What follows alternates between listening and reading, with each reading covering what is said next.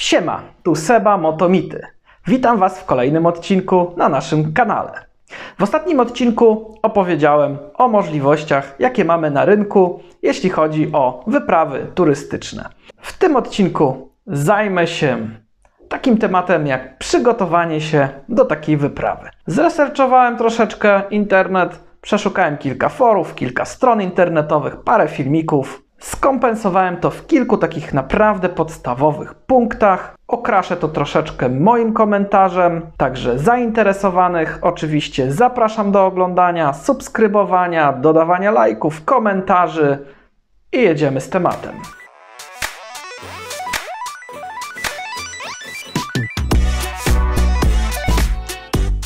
Punkt numer jeden. Ekipa.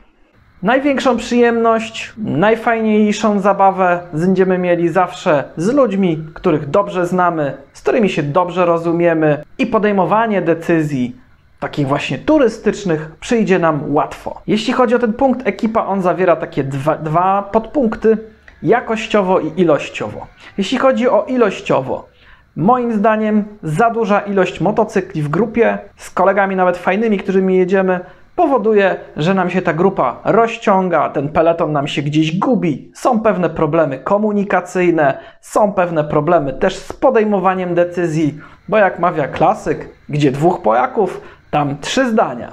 W związku z tym grupę powinniśmy w miarę możliwości ograniczyć do kilku motocykli.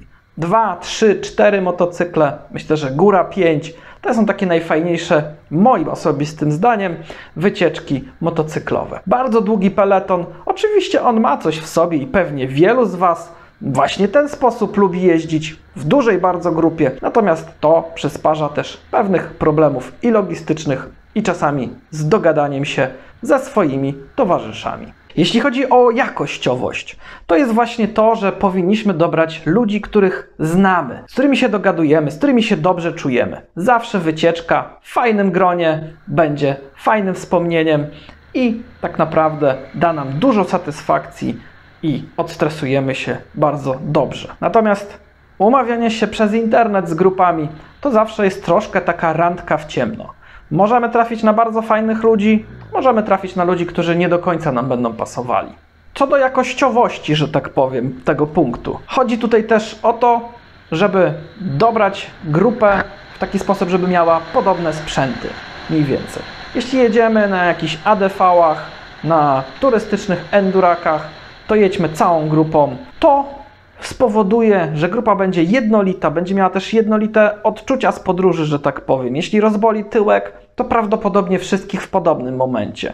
Zasięgi te motocykle mają też mniej więcej podobne. Jeśli ustawimy w grupie skrajne motocykle, to ktoś z tej grupy na pewno będzie się w jakiś sposób męczył. Niektóre motocykle mają bardzo krótki zasięg, co chwila muszą stawać na stacjach, inne mają bardzo długi zasięg. Osoba, która będzie jechała na tym motocyklu bardzo dobrze przystosowanym do turystyki, będzie miała ten dyskomfort, że co chwila, co 150-200 km trzeba stawać na stacji benzynowej. Z kolei osoba na motocyklu, który jest na przykład typowo miejskim motocyklem, będzie odczuwała dyskomfort, bo po 300 km najchętniej by zrobiła sobie już przystanek albo w ogóle zakończyła dzień jazdy, a osoby, które mają wypasione motocykle przystosowane do dalekiej podróży, w ogóle nawet jeszcze nie, pod, nie odczują tych trudów danego odcinka. Także dopasowanie ekipy ilościowe, jakościowe to jest jeden z takich filarów fajnego wypadu. Punkt numer dwa to jest planowanie.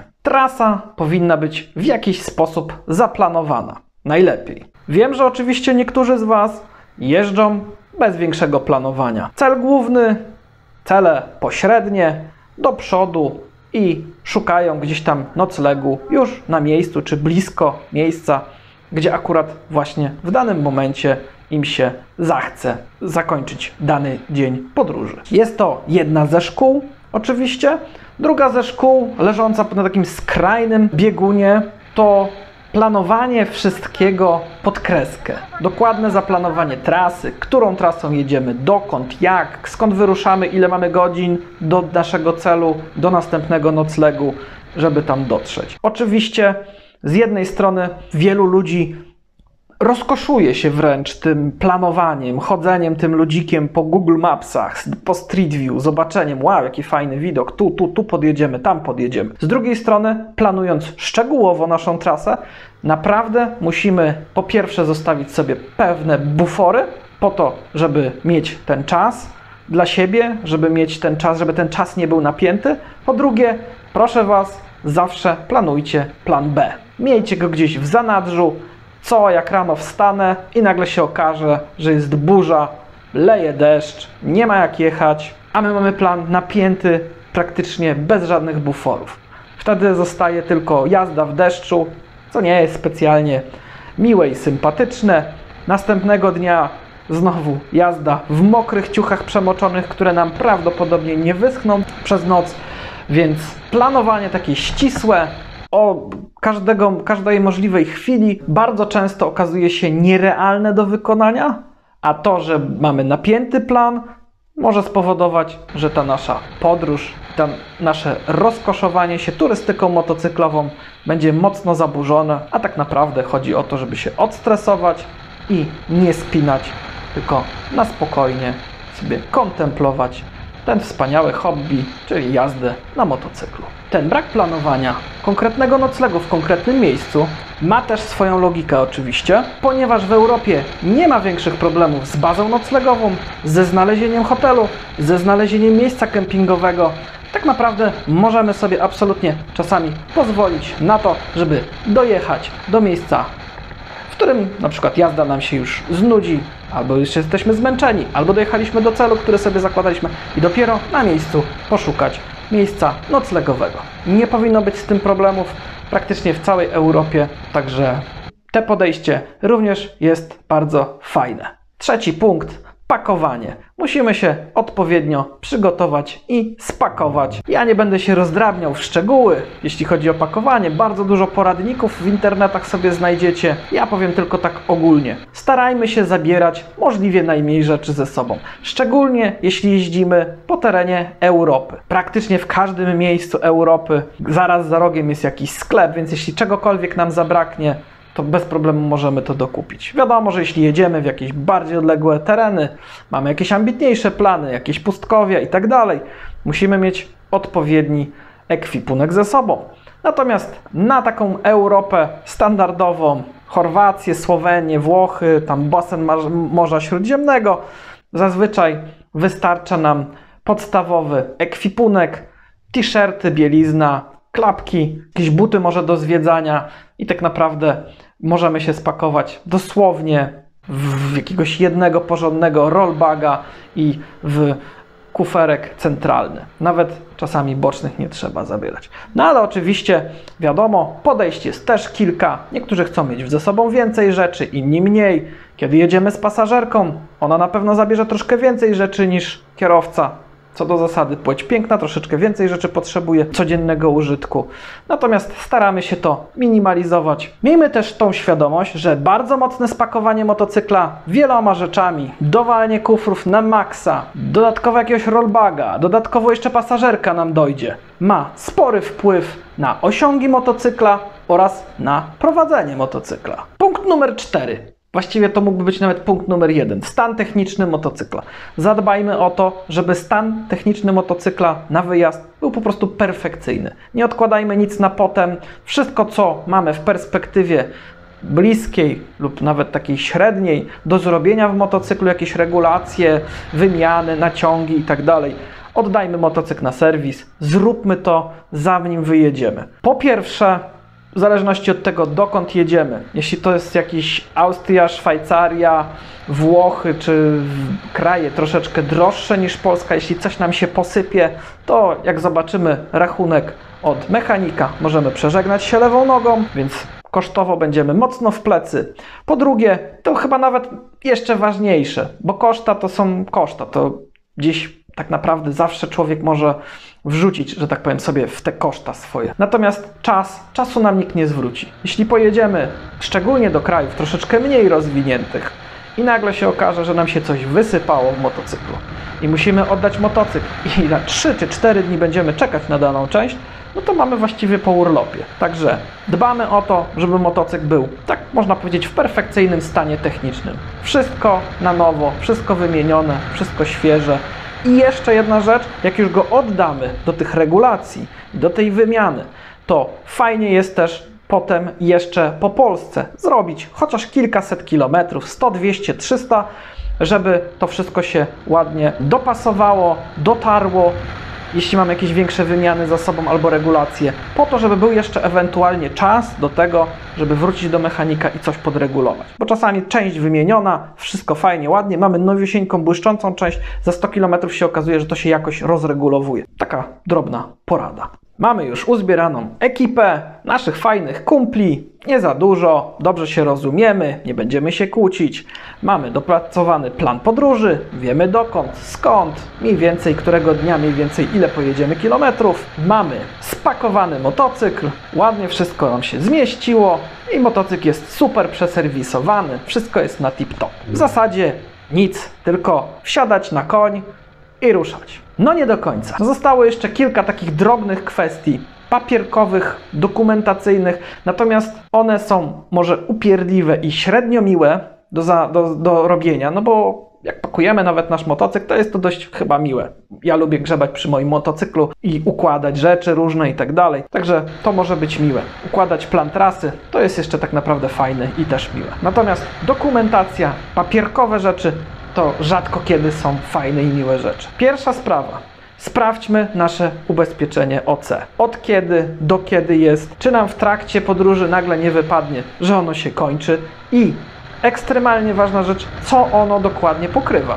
Bo może się okazać, że jedziemy do kraju, które, na, które nasze OC wcale nie pokrywa, albo pokrywa tylko częściowo. To wszystko musi zostać sprawdzone. Druga rzecz, kolejna, jeśli chodzi o dokumentację, karta EKUS. Jeśli jedziemy gdzieś na, w rejonie Europy, karta EKUS, czyli Europejska Karta Ubezpieczenia Zdrowotnego. Co to takiego? Tak naprawdę taki zwykły plastikowy kartonik, jak karta kredytowa, która nam pokazuje, czy nam pokazuje, nam nie musi ona pokazywać, która pokazuje osobie, która to zobaczy, że my jesteśmy ubezpieczeni w Polsce, na terenie Unii Europejskiej. Co ona nam daje? Ona daje nam takie same zasady rozliczenia, świadczenia różnego rodzaju, bo to są różnego rodzaju świadczenia, najczęściej oczywiście szpitalne, jak dla pacjenta z danego kraju. Może to trochę skomplikowanie brzmi, ale pokazując po prostu kartę w Niemczech, jesteśmy traktowani jak niemiecki pacjent ubezpieczony w Niemczech.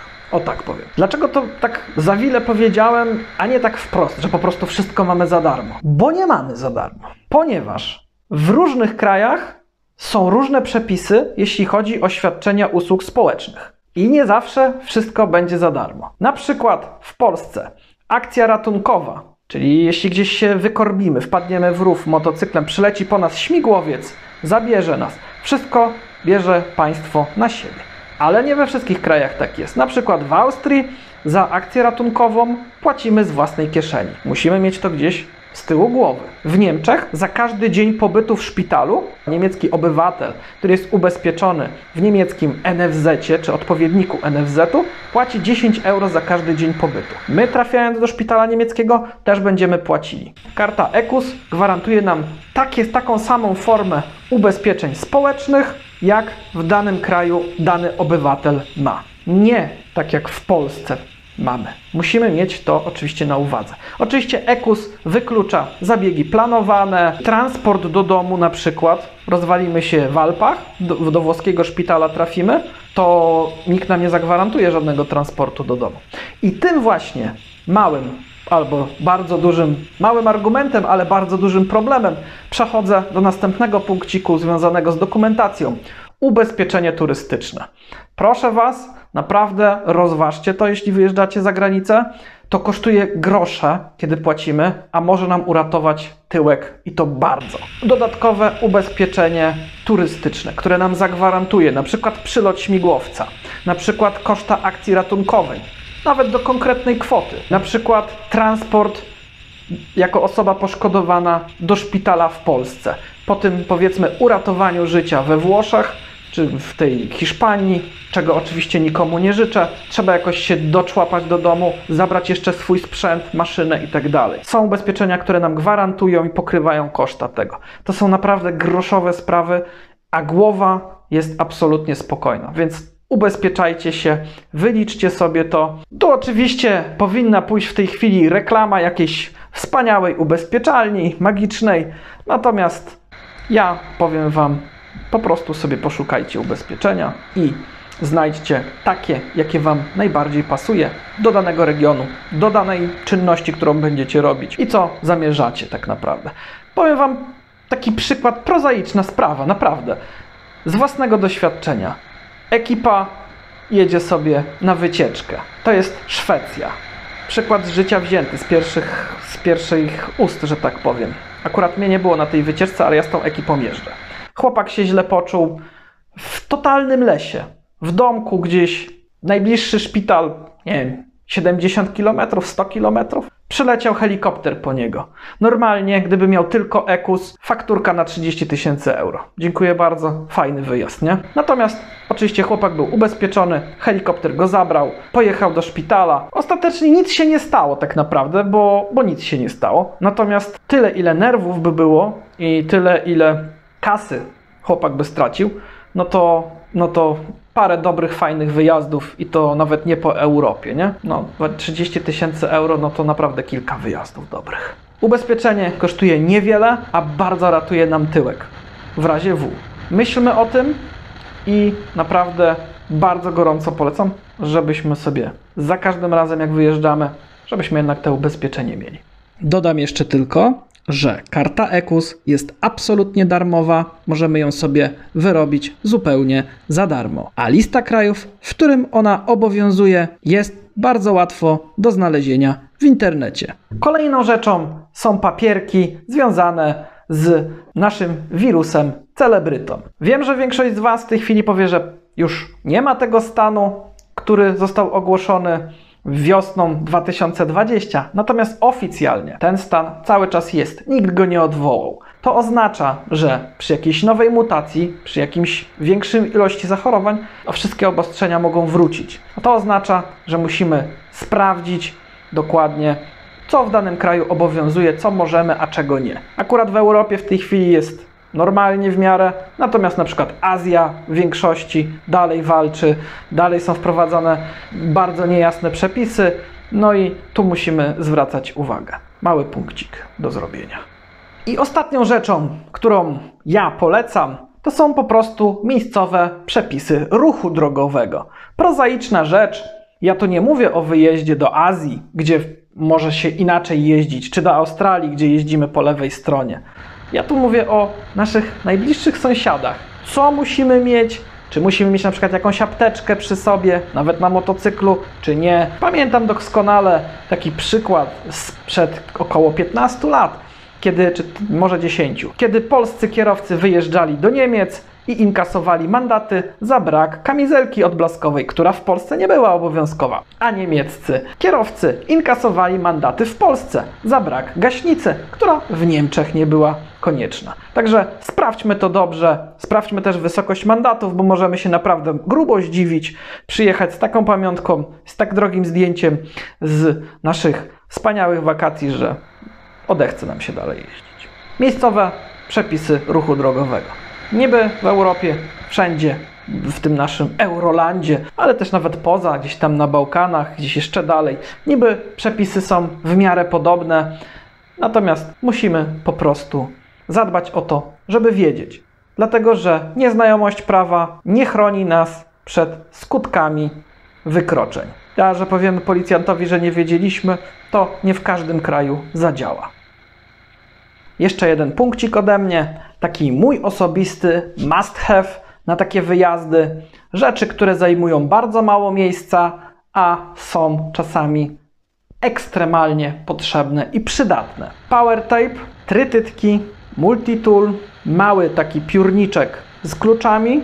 Można sobie kupić na większości portali internetowych, sprzedażowych taki piórniczek nawet dopasowany do swojej marki motocykla, a nawet dopasowany do modelu czasami i zestaw naprawczy do opon z tymi frędzlami i z tym takim jakby korkociągiem. Także te pięć rzeczy absolutnie zawsze mam przy sobie na takich wyjazdach. I powiem Wam, akurat mi się jeszcze nigdy nie przydały, natomiast to taki zestawik praktycznie większość, w większości przypadków, jak są jakieś awarie mniejsze albo właśnie przebita opona, to załatwia nam temat. To jest zestawik, który zajmuje dosłownie ułamek, mały ułamek. Dwa piórniczki tej wielkości, no i power tape i trytytki. Dodatkowo oczywiście zawsze biorę ze sobą dodatkowy zestaw bielizny termicznej, która w bardzo wielu przypadkach nam pomaga. Praktycznie można powiedzieć, że już wyjeżdżając z Polski powinniśmy założyć tą bieliznę, znaczy z domu, założyć tą bieliznę i po prostu w tej bieliźnie sobie jechać. Wygodne, super odprowadza pot i chroni termicznie, także absolutnie to trzeba mieć. Jeszcze jedna rzecz, którą ja sobie wypisałem jako taki must have, to jest ten tak zwany potocznie kondom, czyli pelerynka i portki przeciwdeszczowe, takie ogumowane, taka, taka naprawdę porządna i solidne zabezpieczenie przed deszczem. I powiem szczerze, jest to bardziej nawet przydatne.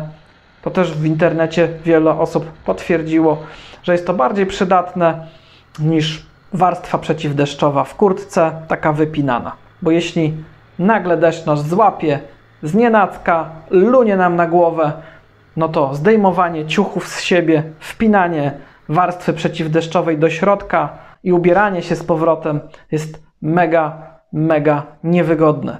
A założenie na siebie dodatkowej warstwy na wierzch, takiego właśnie kondoma, spięcie tego wszystkiego, porteczki tak samo naciągamy, siadamy na motor, możemy jechać dalej. Także taki właśnie zestaw przeciwdeszczowy, dwuczęściowy, absolutny must have. Podsumowując, trytytki, power tape, multitool, zestaw mały kluczy, zestaw do naprawy opon oraz portki i kurt, kurteczka przeciwdeszczowa, zestawik, bielizna termiczna i jeszcze jedna rzecz, której nie wymieniłem wcześniej, powerbank. Powerbank zawsze duży powerbank, Mam tam chyba z 3000 mAh. Taki no, do naładowania tam 5-6 razy do pełna telefon.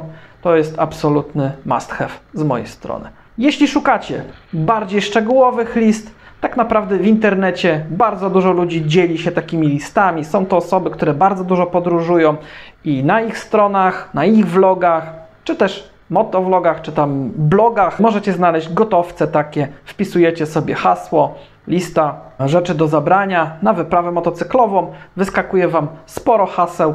Możecie to sobie spokojnie zreszerszować, dopasować też do swoich potrzeb, stuningować lekko i macie dużo gotowców. Dlatego ja tutaj nie będę podawał szczegółowo ile par skarpetek i majtek na ile dni. W poprzednim odcinku mówiłem, że również oczywiście mamy możliwość odbycia wycieczek turystycznych zorganizowanych przez biura turystyki motocyklowej z przewodnikiem. Jedziemy sobie wtedy i oczywiście mamy wiele rzeczy zagwarantowanych, takich jak stan techniczny pojazdu, czasami przylot, wylot, transport, logistyka. Także te rzeczy są oczywiście zabezpieczone przez nasze biuro podróży. Natomiast dopytać warto po pierwsze o warunki ubezpieczenia, po drugie o kaucję, czy musimy jakąś wpłacić. Czasami możemy się zdziwić, że mamy, nie wiem, 800 euro kaucji za motocykl do wpłacenia. Zaczyna się oczywiście nerwowe grzebanie po kieszeniach, czy wymieniłem tyle euro, czy muszę jechać do bankomatu i gdzieś tam kombinować. Także dowiedzmy się, dopytajmy się tego, czy ubezpieczenie, które mamy, grupowe, pokrywa również skutki wypadku, czy pokrywa skutki wypadku z naszej winy, z nie z naszej winy. To musi być doprecyzowane, dlatego że jeśli nie, no to wiadomo, odsyłam do punktu ubezpieczenia turystyczne. Oczywiście w tym przypadku również absolutnie obowiązuje nas, nas EKUS, musimy sobie to wyrobić, także zadbajmy o te takie drobnostki, formalności, dopytanie, żeby to było jasne. Przy pakowaniu mogę tylko powiedzieć z mojego doświadczenia, że może to nawet nie wygląda wcale, ale kask zajmuje ogromną ilość miejsca w walizce. Także czasami może być tak, że jak jedziemy z jakąś jedną walizką, to kask praktycznie zajmie nam połowę miejsca. To jest taki punkcik, który musicie rozważyć, no i trochę nie da się go uniknąć, no bo pod pachę go raczej nie weźmiemy. Także musi być gdzieś i musi być miejsce na ten kask. Jeśli chodzi o ciuchy motocyklowe, ja na przykład lecąc do Hiszpanii na taką zorganizowany wyjazd, na motocykle, które tam były zagwarantowane.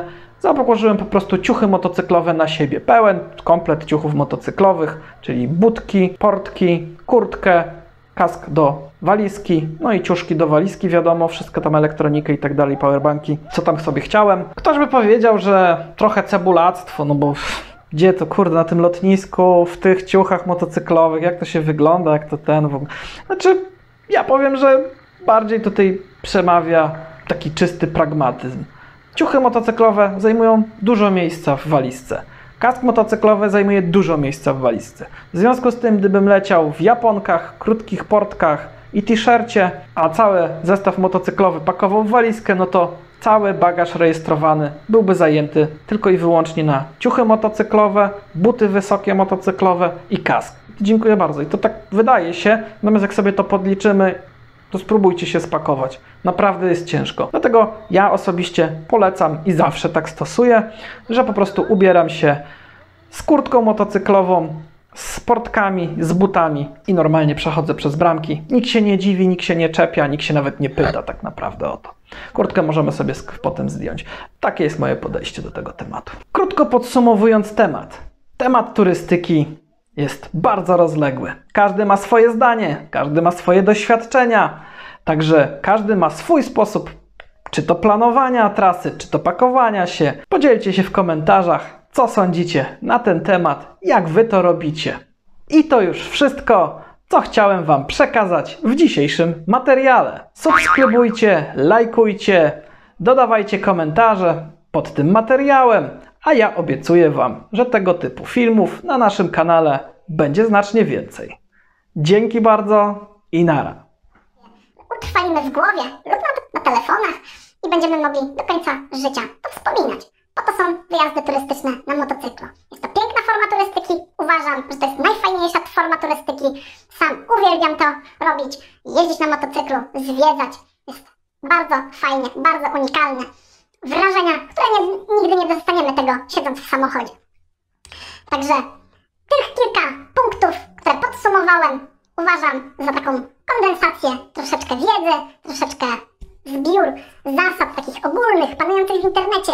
Gadam głupoty jak potłuczony, co mi ślinę na język przyniesie. Także ja się bawię dobrze nagrywając ten filmik. Mam nadzieję, że również wy się super bawiliście oglądając moją twarz na waszych ekranach telefonów czy laptopów. Dziękuję bardzo.